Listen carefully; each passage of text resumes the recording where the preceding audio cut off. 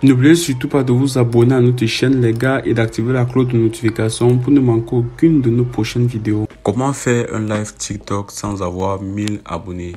Dans cette vidéo, je vais te montrer comment faire cela, ok? Donc, premièrement, ce que tu vas faire, c'est te rendre dans l'application TikTok, ok? Donc, tu te rends dans l'application, premièrement. Et ce que je vais faire ici, c'est vous montrer que je pas donc, comme je disais, ce que je vais faire c'est vous montrer que je n'ai pas 1000 abonnés, ok? Donc là, tu peux voir clairement que j'ai moins de 350 abonnés, ok? Donc, si tu veux faire un TikTok, tu es conscient déjà qu'il faut avoir... Non, je vais dire, si tu veux faire un live TikTok, tu es conscient qu'il faut avoir au moins 1000 abonnés, ok?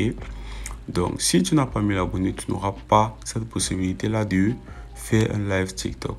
Donc, si par exemple, nous cliquons sur le bouton plus que surtout au milieu de l'écran au fond, ok, et que nous essayons de slider, vous allez vous rendre compte que je n'ai pas cette possibilité-là de faire un live, ok, parce que les différentes options.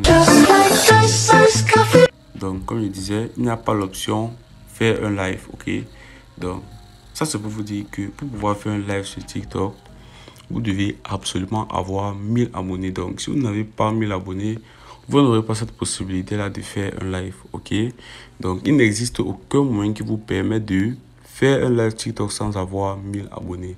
Donc, vous devez obligatoirement avoir 1000 abonnés pour pouvoir faire un live, ok? Donc, ne regardez pas les vidéos YouTube qui vous disent que c'est possible de faire un live quand on n'a pas 1000 abonnés, ok? Vous devez absolument avoir 1000 abonnés.